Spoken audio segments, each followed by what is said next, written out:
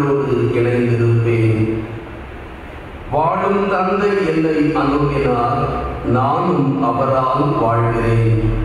அதுபோல் என்னை ஒன்றோரும் என்னால் வாழ்க விண்ணகத்திலிருந்து இறங்கி வந்த உணவு இதுவே இது நம் முன்னோர் உண்ண உணவு போன்றது அல்ல. அதை உண்ணவர்கள் இறந்து போனார்கள். இவ்வுணவை உண்போர் என்றும் வாழ்வர் என்றார் இது வாழ்வு தரும்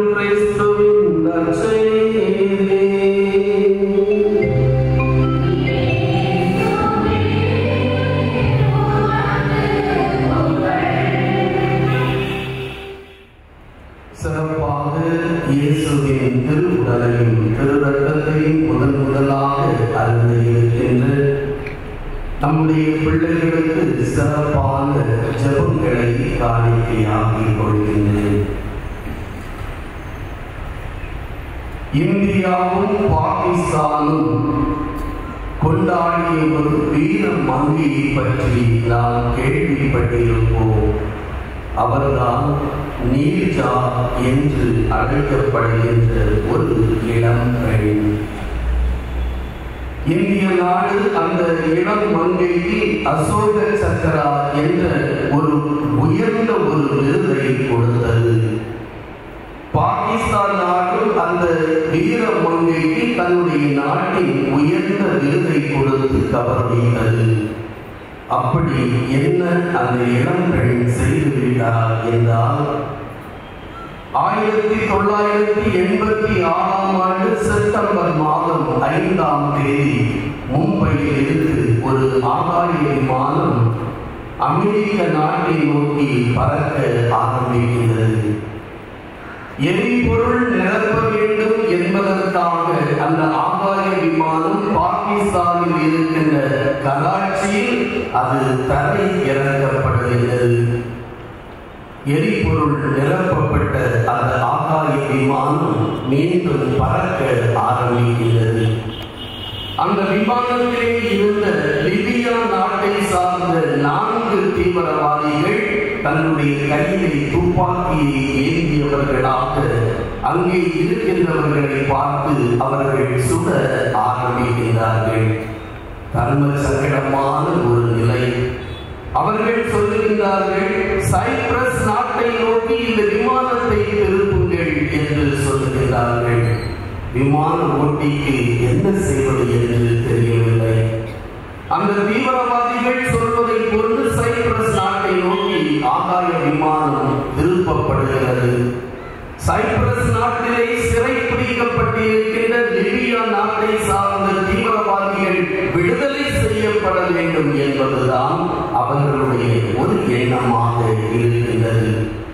ஏறக்குறைய பதினேழு மணி நேரம் அந்த விமானம் வானத்திலே பறந்து கொண்டிருக்கிறது ஒரு கட்டத்தில் அந்த தீவிரவாதிகளில் ஒருவர் என்ன செய்கிறார் அமெரிக்க நாட்டை சார்ந்த ஒரு பயணியை பிடித்து இழுத்து கொண்டு வந்து அவர்கள் முன் நிற்க வைத்து துப்பாக்கியால் சுட்டு அவன் சாகடிக்கிறான் உங்களுக்கும் இதுபோல் ஆகும் என்று எச்சரிக்கை விடுகின்றான்.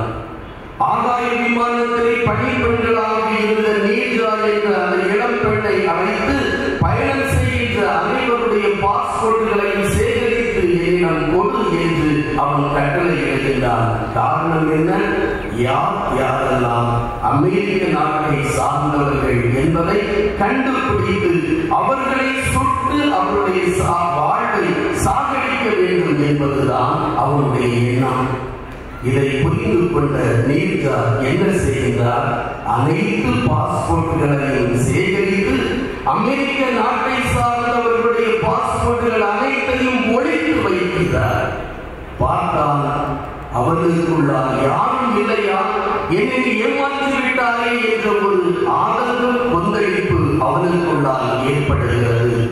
இதற்கிடையில் அவர் என்ன செய்கிறார் ஆகாய விமானத்தில் இருந்த அவசர கதவை திறந்து பயணிகளை ஒருவர் பின் ஒருவராக தப்பித்துக் கொள்ளுங்கள் என்று அவர் அனுப்பி வைக்கிறார்.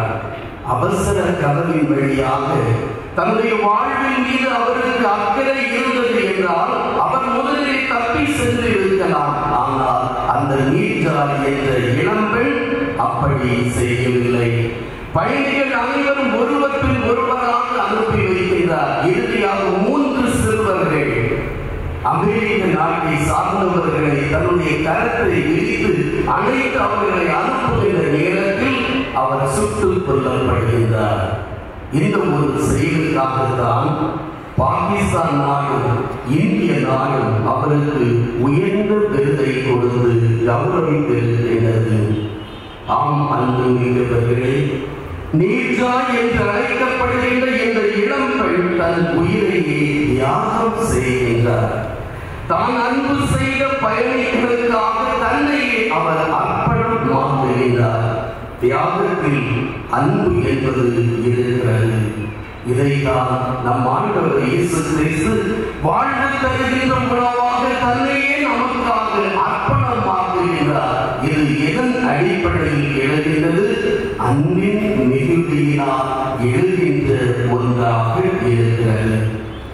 எனவேதான் நற்கருணை என்பது அன்பின் அருள் சாதனம் என்று நாம் தெளிவாக சொல்லுகின்றோம்.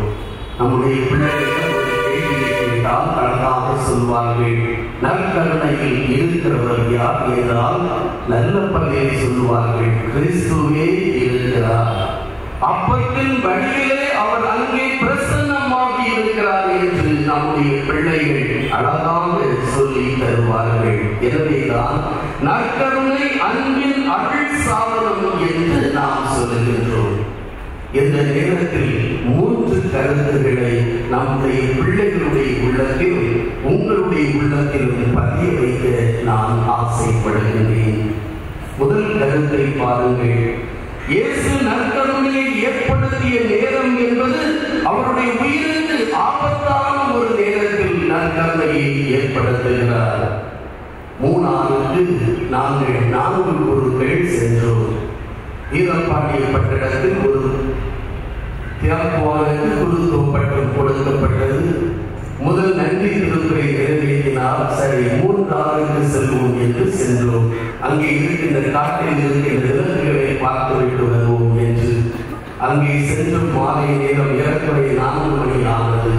அந்த ரோட்டில் நாங்கள் கேட்டோம் யானைகள் விலங்குகள் எந்த பக்கமாக வரும் என்று. அவர்கள் சொன்னார்கள் எந்த பக்கமாக கடந்து போகும் என்று. அதிலே காவல் நின்று கொண்டிருந்தோம். ஐந்து மணி ஐந்தரை மணி ஆகியது வரவில்லை. செல்வோம் என்று திரும்புகிற நேரத்தில் யானைகளுடைய சத்தம் கேட்டது சந்தோஷம். யானைகள் வந்தது. நாங்கள் கதவை காலின் கதவுகளை திறந்து வைத்துக் கொண்டு வேடிக்கை பார்த்துக் கொண்டிருந்தோம். வந்த யானைகள் ஒன்று இரண்டு அல்ல ஏறக்குறை இருபத்தைந்து யானைகள் செல்கிறது. குட்டிகள் அதிகமாக இருக்கிறது. பயந்து போன நாங்கள் காருக்குள்ளால் செல்கின்றோம் ஒரு பெரிய யானை எங்களுடைய காரை சுற்றி சுற்றி வருகிறது. மரண பயம் நான்கு பொருட்களுக்கும். என்ன ஆகும்? சின்ன யானைகள் அதிகமாக இருக்கின்ற காரணத்தினால் இந்த பெரிய யானை எப்படி செயல்படுகிறது என்பதை நாங்கள் புரிந்து கொண்டோம். அந்த நேரத்தில் என்ன செய்வது? காவலுடைய ஜன்னல்கள் கதவுகள் அனைத்தும் அடைக்கப்பட்டு ஒரே ஜெபம். வாழ்வுக்கான ஒரு பயம் அந்த நேரத்தில் எங்களுக்கு ஏற்பட்டது.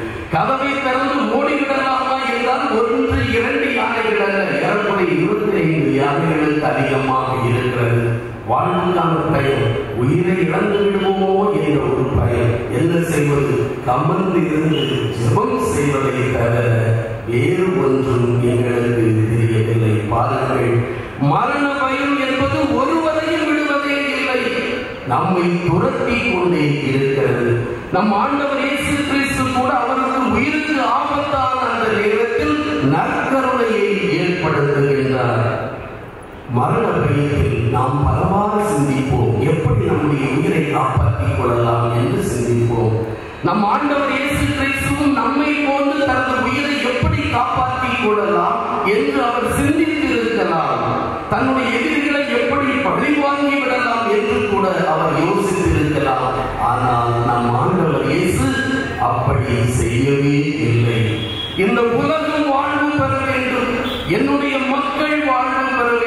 பெற வேண்டும் என்பதற்காக தனது உயிரையே அவர் அர்ப்பணமாக்குகின்றார். அவர் தியாகம் செய்கின்றார்.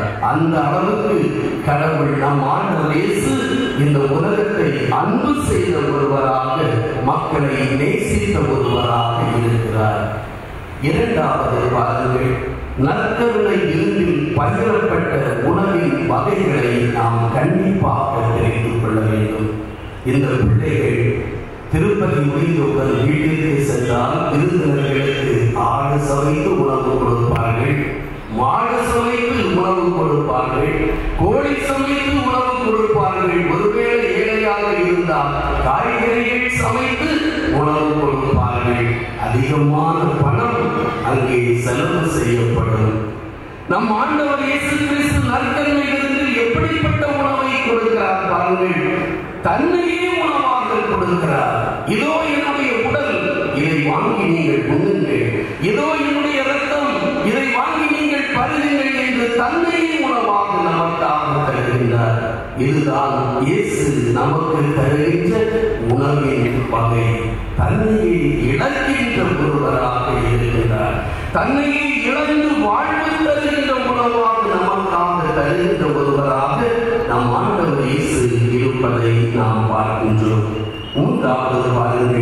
பாருங்கள் உணவின் அளவு எப்படி இருக்கிறது என்று நாம் பார்க்கலாம். குடும்பத்தில் இருக்கின்ற ஒரு இளைஞன் வேலைக்கு சென்றால் என்றால் சம்பளம் கிடைக்கும். அவன் உடனே திட்டமிடுவான் எப்படி? அம்மா அப்பாவுக்கு தெரியாமல் சிறு பணத்தை வங்கியில் சேகரித்தால் திருமணத்திற்கு உதவியாக இருக்கும் திருமணத்திற்கு பின் உதவியாக இருக்கும் என்று அவன் பணத்தை சேமிப்பான். குடும்பத்தில் இருக்கின்ற தந்தை வேலை செய்வார் அதிகமாக சம்பாதிப்பார். மனைவி கேட்பார் எவ்வளவு சம்பளம் கிடைத்தது? அவரும் தனக்கு என்று செலவுக்கு என்று சில பணங்களை வைத்துக் கொள்வார். மனைவி சம்பாதிப்பார் எவ்வளவு பணம்? என்று கணவர் கேட்டால் கூட இவ்வளவு என்று சொல்லி தன்னுடைய கை செலவுக்கு என்ன சில காரியங்களை பணத்தை வைத்துக் கொள்வார். இதுதான் மனித இயல்பு. ஆனால் நம் ஆண்டவர் இயேசு கிறிஸ்து பகிரப்பட்ட உணவின் அளவு என்பது தன்னலம் இருக்கிறது தன்னை முழுவதுமாக நமக்காக தருகிறார் தன்னலத்தோடு எனக்கு என்று எதையும் வைத்துக் கொள்ளாமல் தன்னை முழுவதுமாக நமக்காக பகிர்ந்து தருகிறார் அந்த முழுமையில் தான் அவருடைய அன்பு செயல் தியாக செயல் அர்ப்பண செயல் வெளிப்படுவதை நாம் பார்க்கின்றோம். ஆம் அன்பு மீட்டவர்களே இந்த திருவிருந்தில் பங்கு பெறுகின்ற நாம் என்ன செய்யலாம் என்ற என்ன செய்யலாம்? ஒன்று நாம் எப்படி இருந்தாலும் எந்த ஒரு சூழ்நிலையில் இருந்தாலும் பிறருக்கு உதவி செய்கின்றவர்களாக நாம் இருக்க வேண்டும். நாம் செய்கின்ற உதவியினால் நாம் பாதிப்பு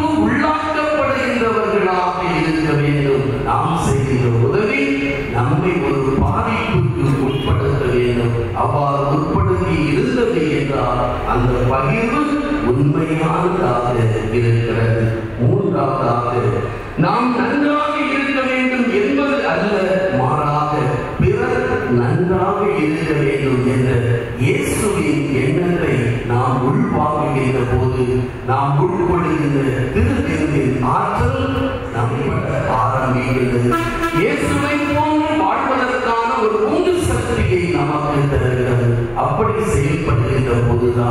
வாழ்வு தருகின்ற உணவாக நாம் வாழக்கூடிய முடியும் அதற்கு தேவையான அருளை ஆற்றலை ஆசிரை நம் ஆண்டவர் இயேசு நம் அனைவருக்கும் தர வேண்டும் என்று இந்த திருப்பதியில் நாம் தொடர்ந்து ஜெயிப்போம் முதுநிலை வாங்குகின்றதை மட்டும் எடுத்து நின்று வழிகளை வைக்கிறோம்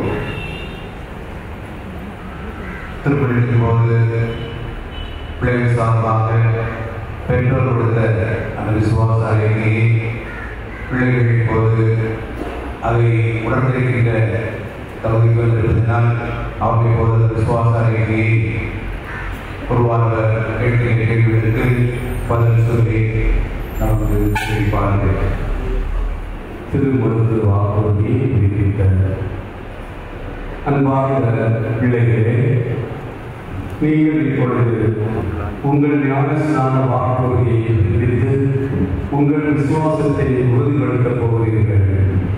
ஞானஸ்நானம் பெறும்போது உங்களிடம் கேட்கிற கேள்விகளுக்கு உங்கள் பெற்றோர் ஞான தாய் வழியாக பதிலளிக்கிறீர்கள் இன்று திருச்சபைத்தால் உங்களிடம் அதே கேள்விகளை தான் கேட்கிறார்கள் இப்பொழுது நீங்கள் பதில் சொல்லக்கூடியவர்களாக இருக்கிறபடியால் உங்கள் முழு இதயத்தோடும் முழு மனத்தோடும் நீங்கள் வாக்குறுதி கொடுக்க வேண்டும். எனவே உள்ள அன்போடும் உறுதியோடும் பதில் கூறுங்கள். அலகையை விட்டுவிடுகிறீர்களா? அதன் செயல்களை எல்லாம் விட்டுவிடுகிறீர்களா? வானமும் வையமும் படைத்த எல்லா நல்ல தந்தையாகிய இறைவனை விசுவசிக்கிறீர்களா அவருடைய ஒரே மகனும் கன்னிமரிடமிருந்து பிறந்து பாடுபட்டு அடக்கம் செய்யப்பட்டு இறந்தோர் இருந்து உயிர்த்தெழுந்து தந்தை வலப்பக்கம் போதுமான நம் ஆண்டவர் இயேசு கிறிஸ்துவை விசுவசிக்கிறீர்களா பரிசுத்த ஆகியையும் பரிசுத்த கத்தோலிக்க திருச்சபையையும் புனிதர்களே சமூக உறவையும் பாவ மன்னிப்பையும் உடலில் உயிர்ப்பையும் பேருந்த வாழ்வையும் விசுவசிக்கிறீர்களா?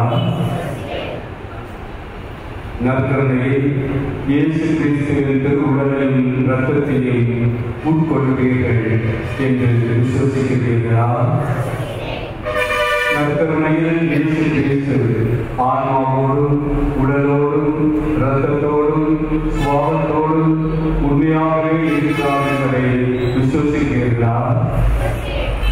திருச்சபை கற்பிக்கிற அனைத்தையும் ஏற்று கீழ்ப்படுவதாக முழு உள்ளத்தோடு வாக்குறுதி அளிக்கிறீர்களா நம் பங்கின் வளர்ச்சியிலும் முன்னேற்றத்திலும் ஆர்வமும்